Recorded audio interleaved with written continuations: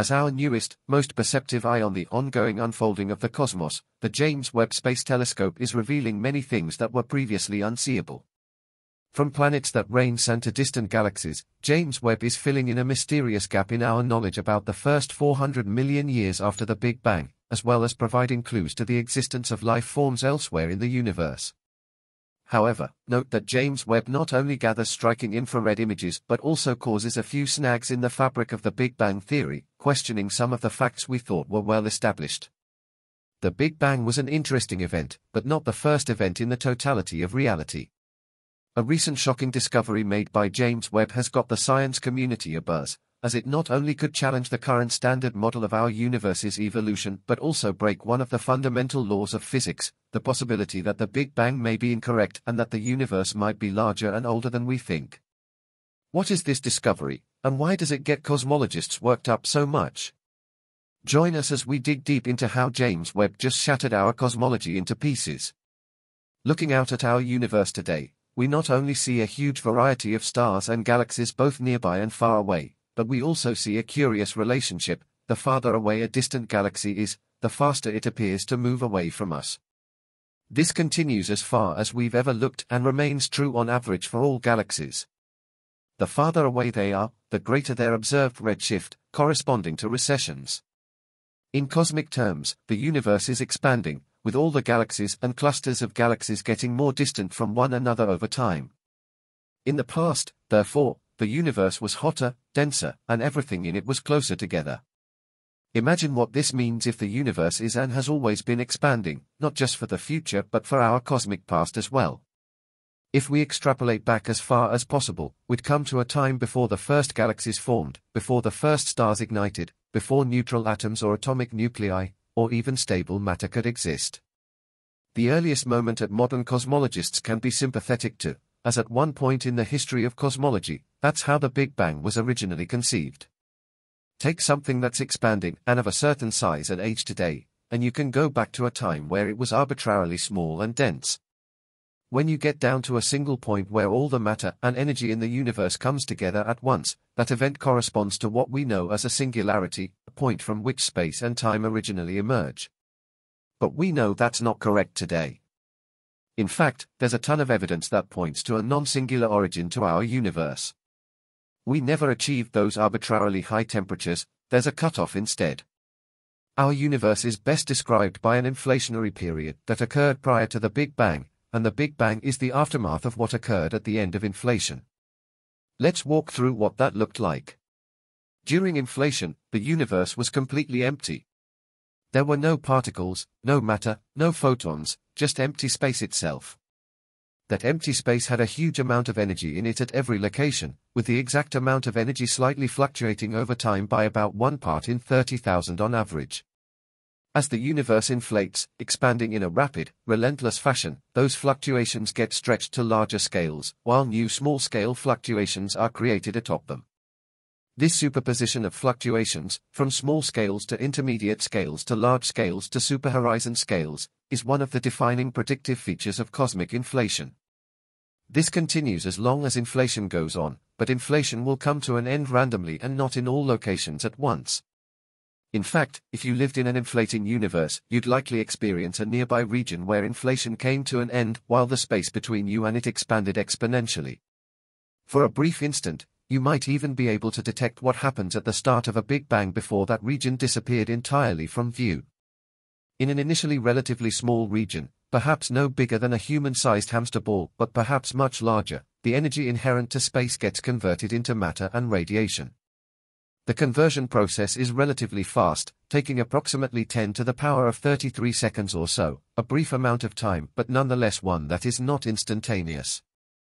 As the energy bound up in space itself gets converted into particles, antiparticles, photons, and more, the temperature starts to rapidly rise from just a few degrees above absolute zero to perhaps about 10 to the power of 20 Kelvin or so over that same brief time interval.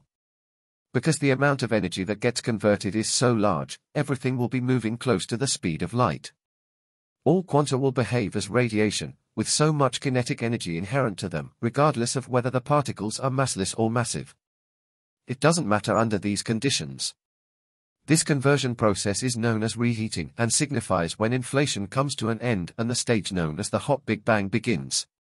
In terms of the expansion speed, you'll witness a tremendous change from all prior behavior when the hot Big Bang first commences. In an inflationary universe, space expands exponentially, with more distant regions accelerating away relentlessly. But when inflation ends, the universe reheats and the hot Big Bang starts, more distant regions will now recede from you more and more slowly as time goes on. From an outside perspective, the part of the universe where inflation ends sees the expansion rate there drop, while the inflating regions surrounding it see no such drop. Under inflation, the distance to any object would double after a certain amount of time, and once that same amount of time elapses, that distance doubles yet again, and again, and again. The process is relentless. But once the Big Bang begins, all of that changes as the expanding universe immediately slows down once the first moment of expansion elapses. Probability-wise, it's extremely likely that from the perspective of whatever region of inflating space you're in prior to the Big Bang, you'll experience inflation ending in nearby regions many times. These locations where inflation ends will quickly fill with matter, antimatter, and radiation, and expand more slowly than the still inflating regions do, leaving you in the inflating region as a typical region within spacetime, dominating its volume. These regions where hot Big Bangs occur will expand away from all the other locations where inflation still goes on exponentially, meaning they will very quickly recede from one another's view. In the standard inflationary picture, because of this expansion stretched across the universe during inflation, the gravitational waves that inflation generates move at the speed of light in all directions, but unlike the visual signatures, no interactions ever slow them down. They will wash over us, arriving continuously from all directions, passing through our bodies and our detectors. All we need to do if we want to understand how our universe got its start is find a way to observe these waves, either directly or indirectly. While many ideas and experiments abound, none have returned a successful detection so far. We know what the spectrum of these fluctuations will look like and what imprint they'll have on the light within our universe, but we have no idea what their magnitude is. Different models of inflation make different predictions, and only by measuring them can we determine which model accurately describes our universe.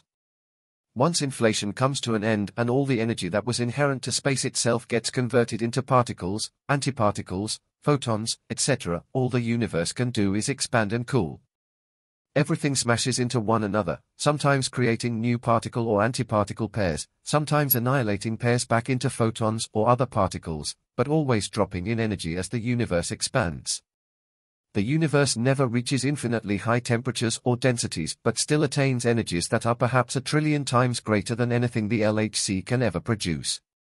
The tiny seed overdensities and underdensities will eventually grow into the cosmic web of stars and galaxies that exist today.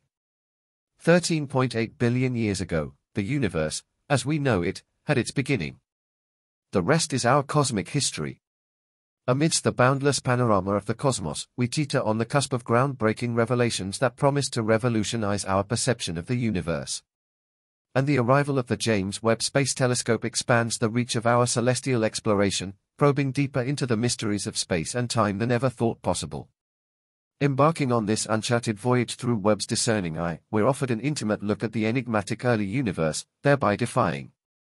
For decades, planetary formation theories kept suggesting that planets received water from ice-covered fragments of rock that formed in the frigid outer reaches of a protoplanetary disk, where light and heat from the emerging system's star lacked the intensity to melt the ice. As fragments from the gas and dust of the disk move inward toward the star, they bring water and other ices to planets. After crossing the snow line, where things warm up enough that the ice sublimates and releases huge amounts of water vapor, this was all hypothesized until now.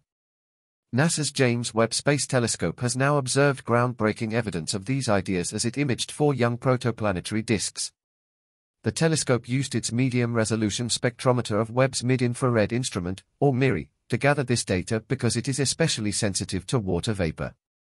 Webb found that in two of these disks, massive amounts of cold today's episode subscribe if you haven't already and hit the bell so you never miss out on future episodes and be sure to also tell us what you think about today's content everyone support motivates us to continue delivering quality content and to always improve us. Always thanks for watching and we will see you next. Time.